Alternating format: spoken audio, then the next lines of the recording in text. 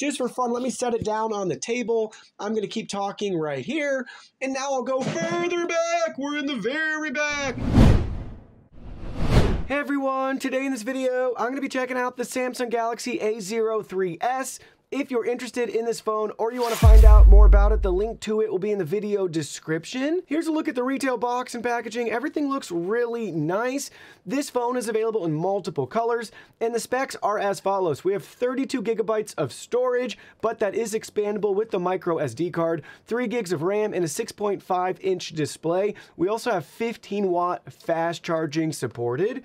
Huge shout out and special thanks to Visible for sending us this device to be able to create this video. If you've never heard about Visible, don't worry, I have you covered. Let's learn more. Visible by Verizon is a simpler way to do wireless for $30 a month. Yes, that includes taxes and fees. You can get unlimited talk, text, and data nationwide in the US on Verizon's 5G and 4G LTE network. Let's not forget about our unlimited hotspot at 5 megabits per second, built-in spam protection, and unlimited talk and text to our friends in Canada and Mexico. For $45 a month, you can choose the Visible Plus plan that features everything we just mentioned and more. Wow. You get 5G ultra wideband, premium network experience at 50 gigabytes, and additional international benefits and a $10 a month savings on Verizon Home Internet. See our affiliate link in the video description for additional information. Now let's go ahead, open it up, and see what's inside. Here are all the contents for our A03s. First up, you'll notice we have our quick start guide and terms and conditions, walking us through everything we need to know about our new device, how to get it connected, and to finish setup. On the back side, we have those terms and conditions and our legal and compliance information.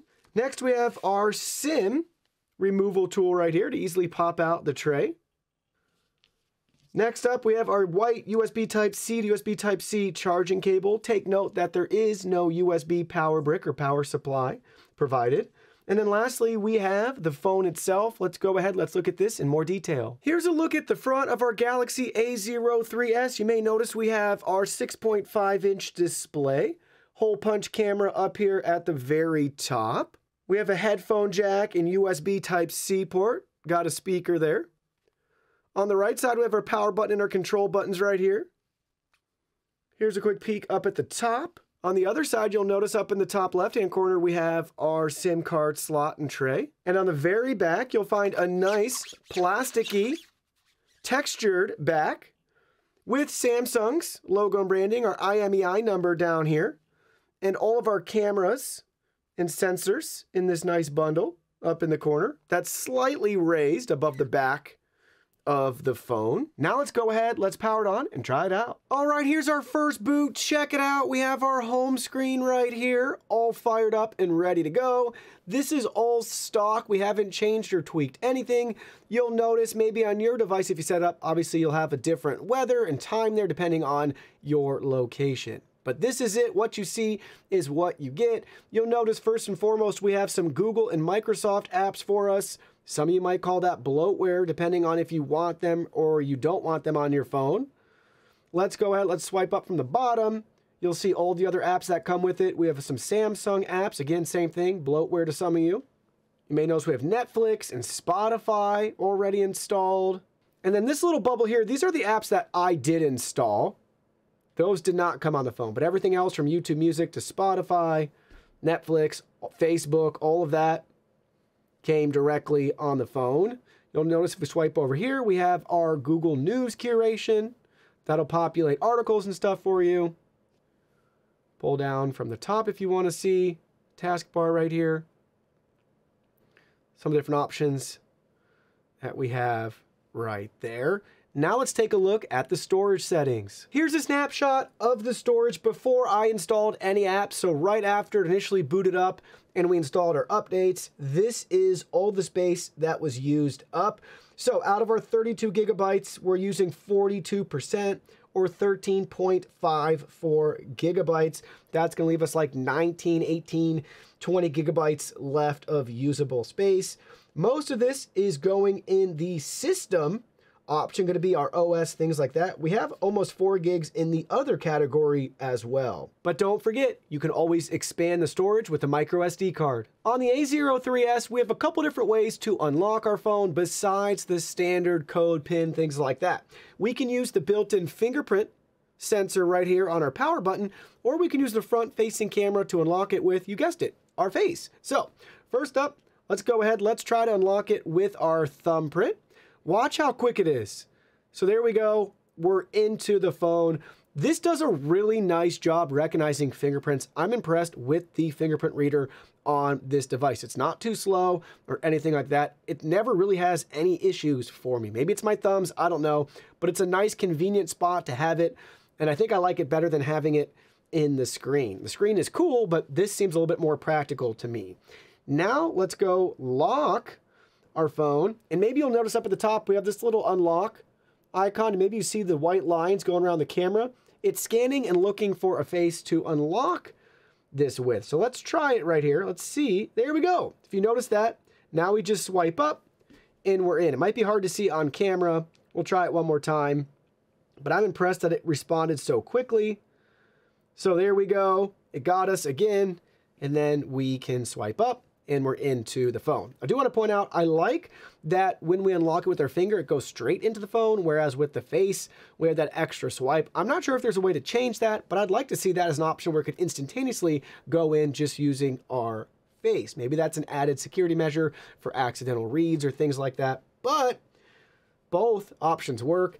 I think, depending on your photo, you might have more success or less success I'm impressed with how good of a job this one does compared to even some of the other A-series devices that I've used. So I'm thinking a lot of that comes down to just the picture that I used at the time to set it up. Next, let's talk about specs. With our A03s, we're going to be comparing it to some other Samsung A-series devices. So with this phone, we're comparing it to the A53 5G and the A13. First up, in regards to battery capacity, we have a 5,000 milliamp hour battery capacity, and that's our average across all of the devices is. Next, in regards to fast charging, this supports 15 watt fast charging, whereas the average is 18 watts. Next, there is no wireless charging for this phone. Storage is 32 gigabytes, but it is expandable. The average is 64 gigabytes. Next, for RAM, 3 gigabytes of RAM in this phone, the average being 4. In regards to the front megapixel count for the camera, we have 5 megapixels, whereas the average is 15. So we're about a third less there than the average. In regards to the rear camera, the megapixel count, 13 megapixels, whereas the average is 42.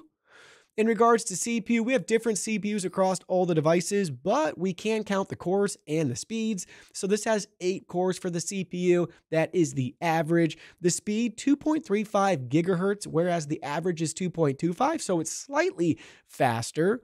In regards to screen size, this has a 6.5 inch display, whereas the average is 6.533. So we're right in line with the average. 720 by 1600 is the resolution at a 60 hertz refresh rate.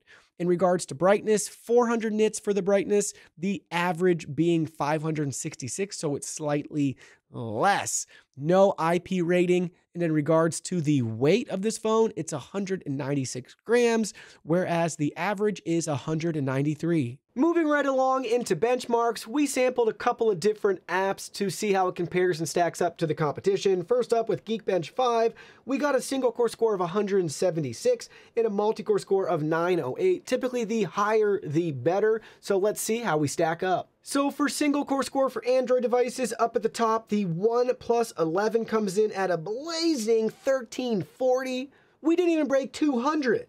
Then we have the Samsung Galaxy Z Fold 4 in second place, followed by the Galaxy Z Flip 4 in fourth place. And do we have any other Galaxy phones in the top 20? Doesn't look like it. We do have the Google Pixel 7 and 7 Pro and 6A, all right there, slightly below the Microsoft Duo 2.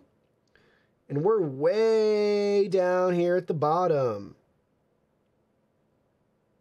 So a score of 176 puts us right with the Samsung Galaxy C7 Pro. Slightly ahead of the Sony and Motorola Nokia phones. and the Galaxy J7 Perx. Asus ZenFone 4. Here's some other nearby devices a little bit higher. Xiaomi Mi 4C, OnePlus 2, the Galaxy A10 coming in at 199, and the NVIDIA Shield tablet at 208. And probably at no surprise to you for our multi-core score, we got the OnePlus 11 again up at the top, and our third and fourth slots are for the Fold 4 and the Flip 4. We got a score of 908, so we got to go down quite a ways again to see what other devices even compare. So at 898, we got the Galaxy Note 5 Duos and the Galaxy S6 at 889.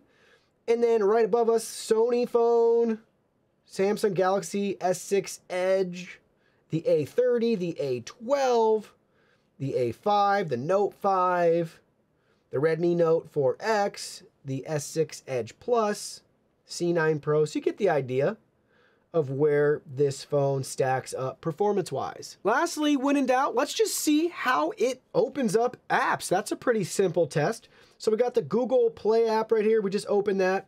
Just get a feel for how responsive everything is. Some of these apps have never been loaded before, so keep that in mind. So watch what happens as we go ahead. Let's just exit out of it and let's pull up the Play Store again. Galaxy Store. Pull up Chrome. Let's go grab some bloatware. Sorry, LinkedIn. Got to install a new version. Let's pull up Office. So same thing, got to do some updates there for Microsoft. Lovely. Spotify.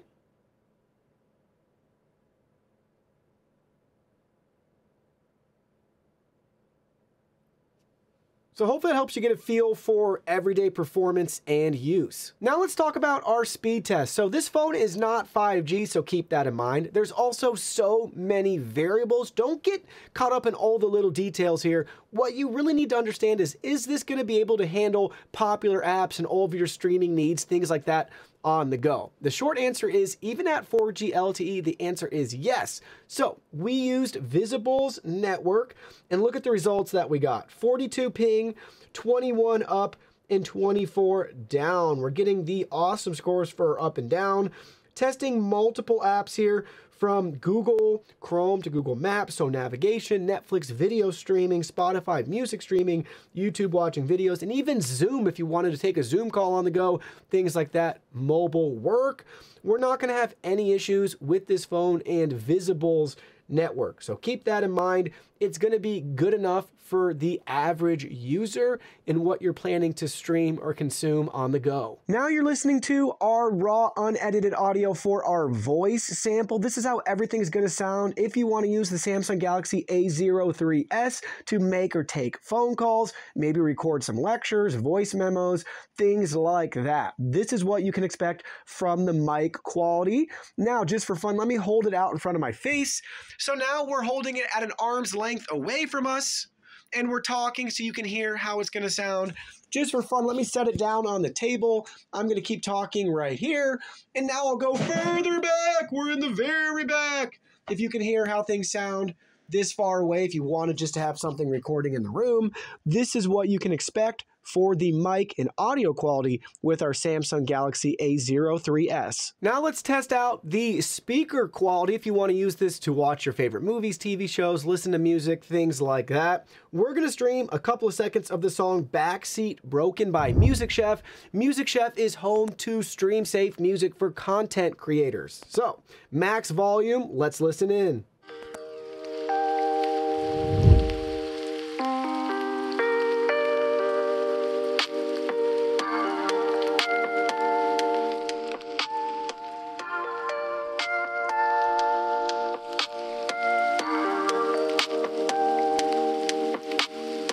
And now a couple seconds from another Music Chef song called Dripping with Ice.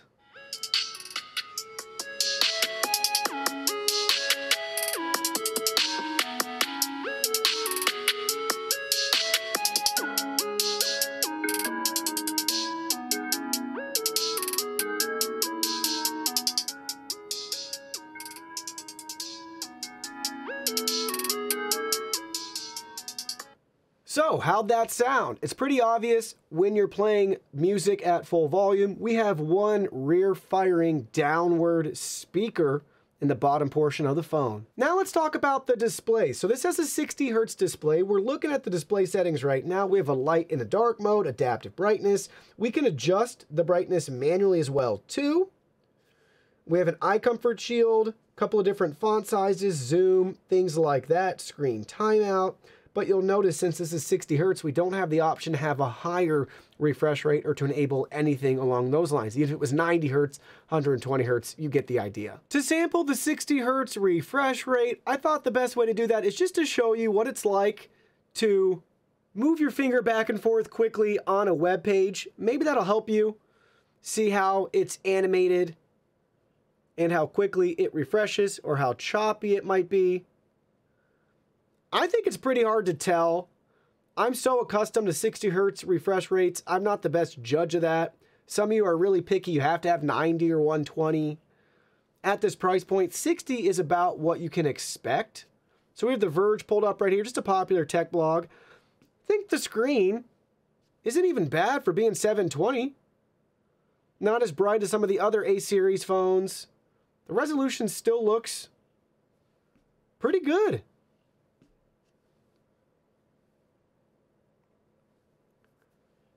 Now we'll browse YouTube. We have the trending section right here.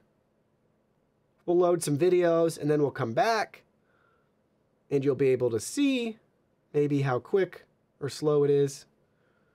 But maybe you can notice a little bit more on YouTube. I think it's a little more noticeable here, the 60 hertz. Obviously, if you're gaming, you'd like the higher refresh rate. And I don't think it's that bad, though.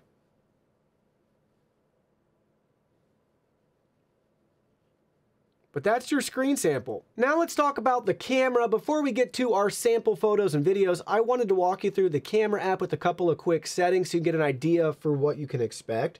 So first up, when we open the app, we're in our photo mode. We have a couple options here to zoom from 1x to 10x. There is no ultra wide lens with this phone, which is a bummer in my opinion.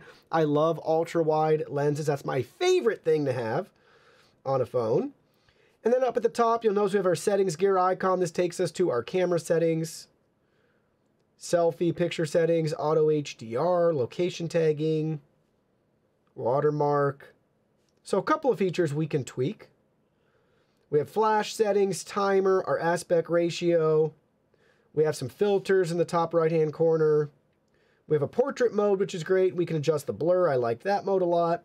Next, for video, you'll see very similar layout, filters, aspect ratio. We have full HD 30 or HD 30, so 1080p or 720. No 4K, which is also a bummer. Same zoom, 1x to 10x. Look at our settings. You'll notice a lot is grayed out since those are for photos, but you get the idea. And then we have this more section right here. So we also have a pro mode, a macro mode, a panorama mode, a food mode, and a hyperlapse mode if you want to create some cool little time lapses. We have all those options. And if you hit that question mark up at the top, it'll walk you through some of the different modes so you can understand them better.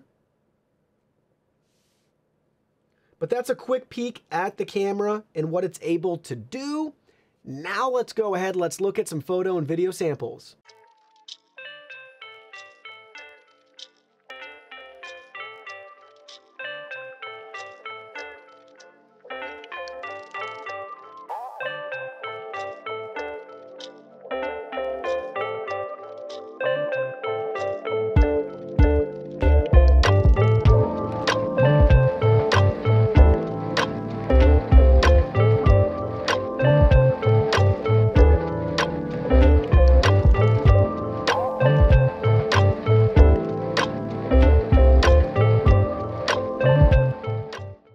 So this is your raw sample video and audio. You may notice we're outside with some wind chimes and a very steady breeze. This is currently at 1x and it's at 1080p full HD. There is no 4K option. Now let's test out the zoom. Now you're looking at the same footage at 2x. Now we're at 4x. And lastly, we're all the way zoomed in at 10x. So now let me share with you my final thoughts in regards to the Samsung Galaxy A03s. This is what I want to say about this particular device, and this is just from my own experience. The camera is underwhelming as you'd expect. Don't expect great quality in any sort of low light conditions, things like that. I really wish we had an ultra wide lens and improved clarity in both the front and rear facing cameras. Next up in regards to the display, this isn't a full HD display, it's 720p. That actually isn't that big of a deal to me due to the size of the screen. It's not like anything super pixelated or things like that. Again, at this price point, I don't fault it for that too much. And I thought it's been very enjoyable, even if it's truly only at 60 hertz for the refresh rate. Battery's great, 5,000 milliamp hours. They didn't skimp there.